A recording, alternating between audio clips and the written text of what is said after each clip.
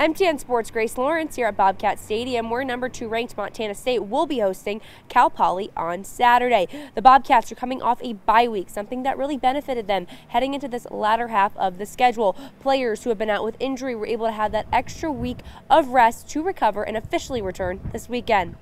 Yeah, it, it has been nice. Um, in the past, we've had our bye week pretty late, and so it's it's a really really long stretch before our bye week, um, and so it was nice. I felt like it was needed.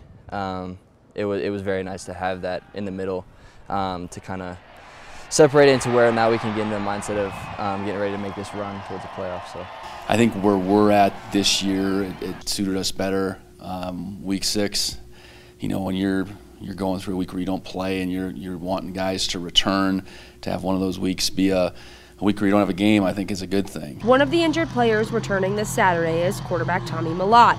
Listed as an or on the depth chart, his number of snaps may be limited, but he will be available. Tommy Mellott is a highly tuned uh, athlete when he's when he's healthy, and, and getting him kind of back to that uh, that place, you know, as you know, when you're immobile for a couple weeks, um, you know, that's that's the progress I guess we're continuing to make, but definitely available at this point. Cal Poly, currently 0-3 in Big Sky Conference play, will be heading into arguably their toughest match yet on the road against the Cats in Bozeman. For Montana State, it's about staying dialed in to the game in front of them.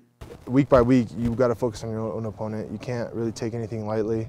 You can't take them lightly for sure. Um, they're a good team, they're disciplined, and they, they have new coaches, so they're a hungry team and they're young. I think we look at it as just another week. Um, we talk about every single game counting the same at the end of the season. Uh, so no matter uh, no matter what this game is going to be in our record. Um, and so we, we don't treat it like any um, any different than any other game. So I think the, the preparation is the same every single week for us. So. For the Bobcats, something that's been on display every week is how in sync the units on both sides of the ball are with one another, something they've continuously worked on. Especially the communication side of things. Uh, last year, I know we wanted to communicate better, and I feel like that's what we're doing this year.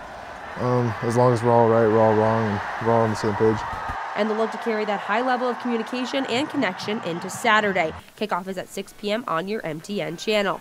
In Bozeman, Grace Lawrence, MTN Sports.